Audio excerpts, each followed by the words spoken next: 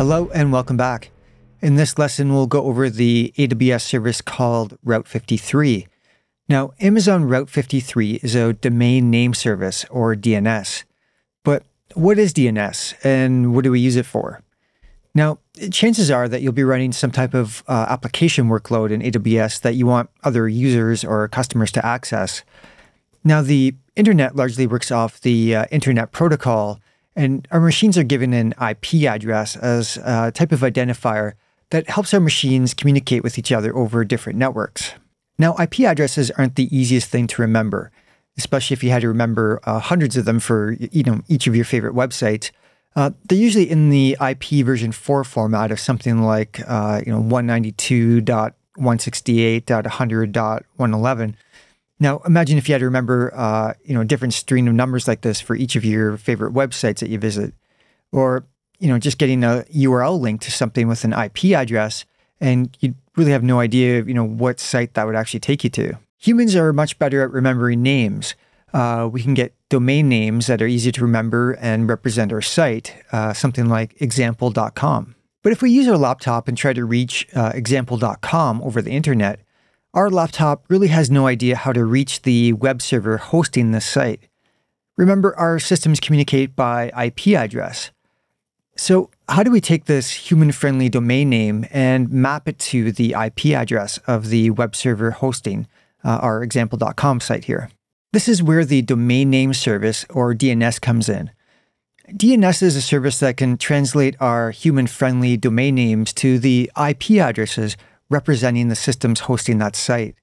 So, as an owner for example.com here, we would configure our public DNS records with the mapping of the domain that we own to the uh, IP address of our web server.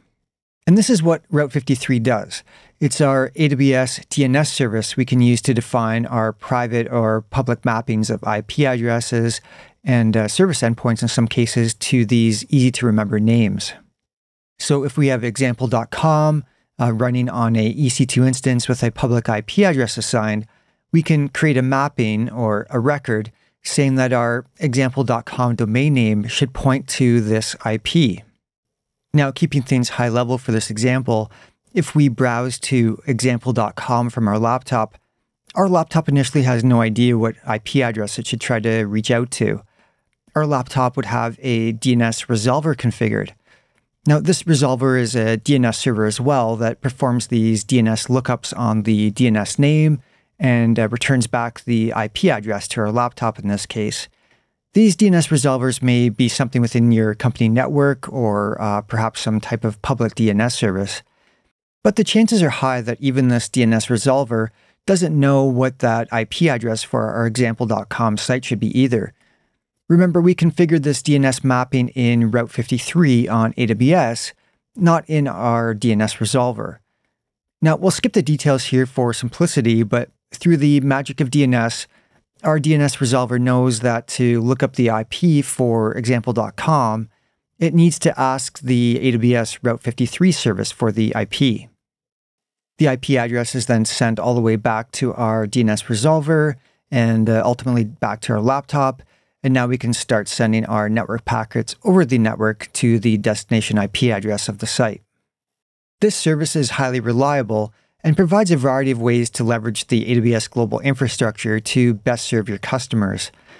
Now, as an example, if you had customers all over the world, you may want to take advantage of deploying your uh, web servers in a number of these regions to reduce latency and improve the overall customer experience. Now, we still just want to have our single domain name of example.com for all our global users, but how do we get our customers' traffic going to the optimal region in this case? Route 53 provides a number of routing policy options to control the traffic distribution to multiple targets associated with the domain name record. For our example here, we may want to use a geolocation routing policy. In this case, Route 53 would look up the source IP address, um, our laptop's public IP in this case, and do its best to figure out the general area we're located in. And based on that information, return back the IP address for the web server that's in the closest region to us. Now, Amazon Route 53 provides many configuration and routing options, and it's highly integrated with many AWS services. Uh, you can use Route 53 in combination with CloudFront uh, and your load balancers, or even other AWS service endpoint names to help enable your customers and users to access your applications hosted in AWS in the most efficient and highly available way.